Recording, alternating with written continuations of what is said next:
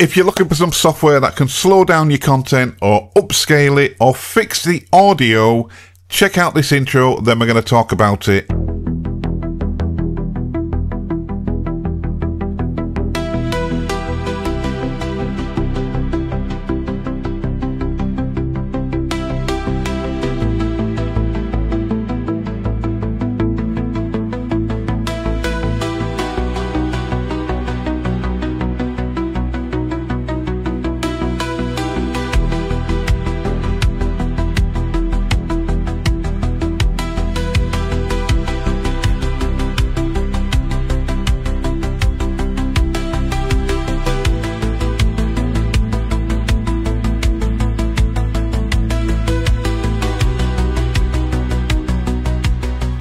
One of the things with AI video is the main, the quality. Now, some of the models now, yes, they are bringing it up to 1080p, but if you want to get it upscaled to something like 4K or 2K, something better, just make it a little bit sharper and crisper. Piece of software that people go to is Topaz's Video AI, which is quite expensive. It's looking at the moment at just a dollar short of $300 to get 12 months upgrade. Now, there is a new kid on the block.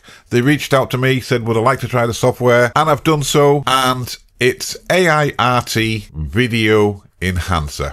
Now, this software, if you take a look at the price pricing here, you can get the standard license for $79 on offer at the moment. That gives you access to one PC or Mac. You got a 30 day money guarantee, etc. Or you can go for the lifetime license it's half the price of Topaz and it does a really good job. Now you saw the little intro there. I did those upgrades with this software. And like I said, with this version, you've got 30% off and you do get the AI image enhancer one year license chucked in for free as well. Now, how good is it?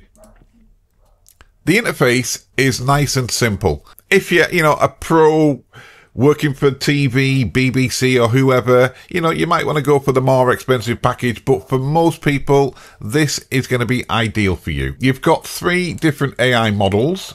We've got the Mo, more detail, Mo detail, it's called HQ version 2. And say if I went on that one, we can get them up to 4K resolution or custom resolutions. Now, I have found with AI content, the best one to use is the Super Video HQ. Now that upscales it by two times.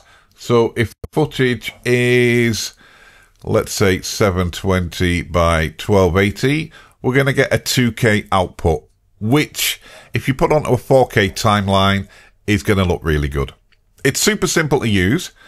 I'm going to drag this piece of AI footage into here. And what it will do is I want to get a preview of it. Once the preview's done, we can see what it's going to do. Now, like I've said to you, if we use the more detail one, it goes a little bit too cartoony for my liking. So, like I said, the best one I think to use for AI content is the Super Video HQ. VHQ, sorry, and you'll see the difference. It looks just a little bit more natural looking and we've got those details looking crispier already. Now, with any of these types of software, they are quite hungry on your system. I'm using to do this video a Mac M1, my M4 Mac. There's a problem with it at the moment, so I'm back on this one. And to do these videos, which are around seven seconds long, I think they are, it's taking probably about 20 minutes, 25 minutes to do one. Now, what I usually do with anything like this, if I'm doing some rendering, uh, or changing the resolutions or bringing the, you know, the, the frame rate down to, you know, make it slow motion, I leave them running through the night and then I come back in the morning, batched all my batches are done and I'm ready to start doing my edits. Now as well, you can do um, slow motion if you want to. So frame interpolation. We can take it all the way up to 120 frames if we want to, or we can just click on that and it will make you a slow motion file as well. Now you can also, I haven't tried this one yet, but you can also do an audio de- denoise as well. If you've got some crackly, cra- uh, crackly tracks, etc., it's going to fix all that for you. Don't take my word for it on any of these um, videos I produce. Go and try it yourself. I'm just giving you my review of how it works for me, or you know the things I do that make my life easier. Um, it's up to you as well to go and try it out, but it does do a really good job. The slow motion footage as I'm playing now, great. It is really great for doing that. Or, like I said, if you go to the, um, take that one off and then render it out at 120 frames, it add the frame, it, it add, it adds the frames into your video footage as well. Again, these renders do take a long while to do, especially if it's a big video file, you know, like five, ten minutes or whatever.